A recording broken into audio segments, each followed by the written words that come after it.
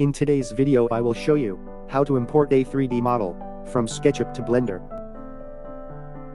First we have to download a add-on. I have given the link of the add-on in the description box below. When you open the link, a similar page like this will open. You don't have to unzip the file after downloading.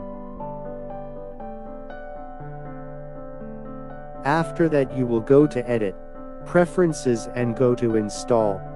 Depending upon the location where you have downloaded the link, you will go there and download it in Blender.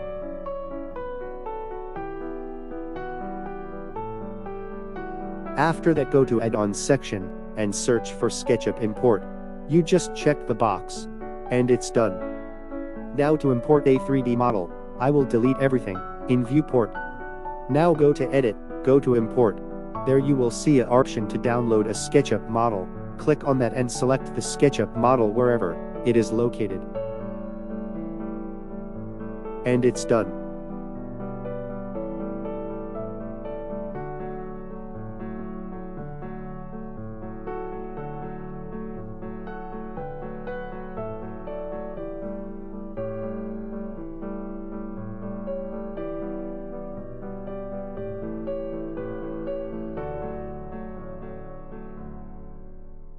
You can download as many 3D models from SketchUp as you want.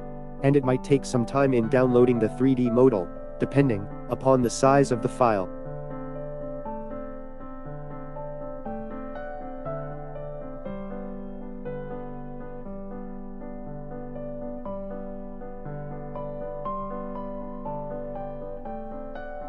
And this is how you download a SketchUp model in Blender.